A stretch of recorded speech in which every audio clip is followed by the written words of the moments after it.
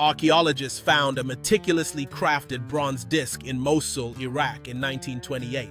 Inscribed with cuneiform and precise star charts, this device, dated to 800 CE by thermoluminescence and stratigraphy, has stunned historians. While the astrolabe is credited to Islamic scholars of the late first millennium, this artifact predates it by nearly 200 years.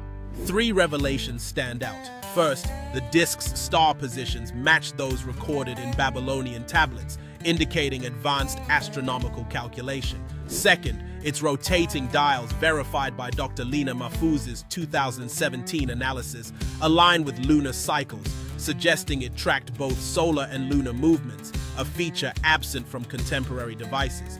Third, a 1985 translation by Professor Saad al-Khalidi revealed inscriptions referencing the Sassanid calendar, bridging pre-Islamic and Islamic scientific traditions. Witness accounts from early excavators describe the disk's unprecedented complexity, Evidence suggests something more systematic. Later Abbasid scholars rarely referenced such instruments, likely due to political shifts and knowledge suppression. The aftermath revealed a lost chapter in scientific innovation. These accounts shape our present. Subscribe to understand historical connections.